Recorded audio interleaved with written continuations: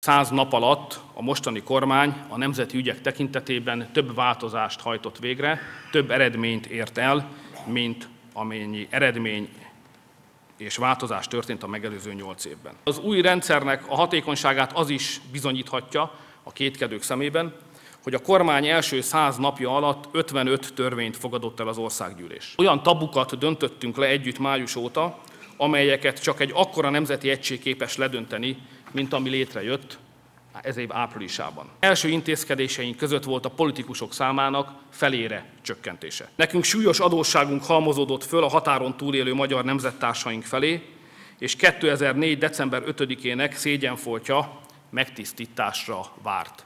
Nem tűrt halasztást, ezért meg is alkottuk a szükséges törvényt, letelepedés, Magyarországon való letelepedés nélkül is lehetséges a világ valamennyi magyarja számára a magyar állampolgárság megszerzése. Az előző kormány valótlan számokra épülő költségvetése rendkívül veszélyes helyzetbe sodorta az országot, és ezért számos intézkedést kellett hoznunk a pénzügyi rendszer stabilizálása érdekében.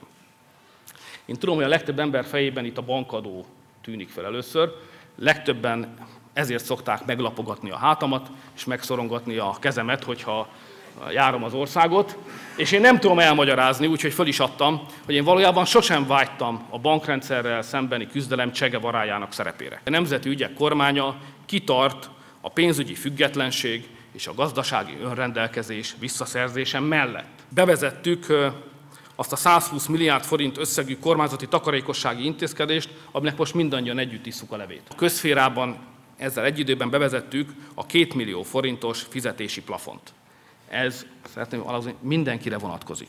Akkor is, ha Brüsszelbe szalad panaszkodni. Azt kell, hogy mondjam önöknek, hogy a személycserék indokoltak.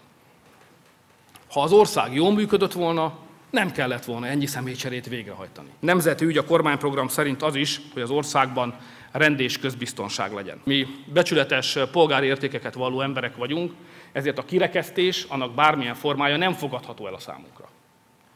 De a józan észsel az is ellentétes, hogyha teret engedünk a politikában a valóság tagadó beszédnek. Mert ha nem beszélünk a valóságról, akkor egyszer csak azon kapjuk magunkat, hogy azok kezdenek el a valóságról beszélni, akik közel sem olyan decensúri emberek, mint amilyenek mi szeretnénk lenni. Továbbra is szeretném nagyon határozottan képviselni azt az álláspontot, hogy a száz nap után sem fordulhat elő, hogy a bankok csak úgy egyszerűen utcára teszik az embereket. 2012-ben végre sor kerülhet a Magyar Köztársaság új alkotmányának megalkotására és elfogadására. Ez azt jelenti, tisztelt Hölgyeim és Uraim, 12-t mondtam, 11-et kellett volna mondanom, van még, aki figyel. Jó bulatság, férfi munka lesz, remélem az ország is hasznát látja majd. Száz nap alatt nem változik meg varázsütésre mindannyiunk élete vagy családjaink sorsa.